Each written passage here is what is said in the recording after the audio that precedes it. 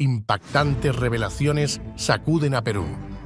Vladimiro Montesinos, el oscuro asesor de Alberto Fujimori, condenado a 19 años y 8 meses por horrendos crímenes, entre ellos las masacres de Pativilca y La Cantuta.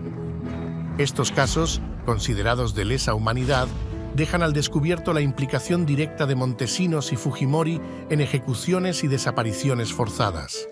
Vladimiro Montesinos, la sombra detrás del poder, ha enfrentado múltiples condenas por usurpación de funciones, venta ilegal de armas a las FARC, enriquecimiento ilícito y más. Las matanzas de Barrios Altos y El Santa, la desaparición de un profesor y dos estudiantes y hasta el homicidio de la agente Mariella Barreto en 1997. ¿Cómo una figura tan oscura pudo operar durante tanto tiempo?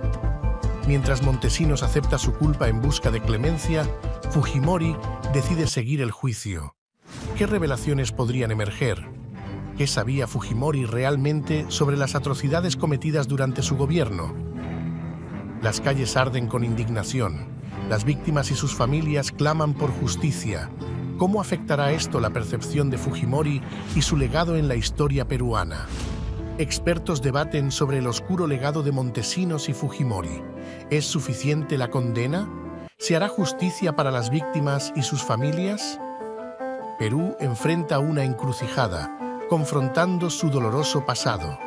¿Será este el capítulo final de la impunidad o el comienzo de un nuevo capítulo en busca de verdad y justicia?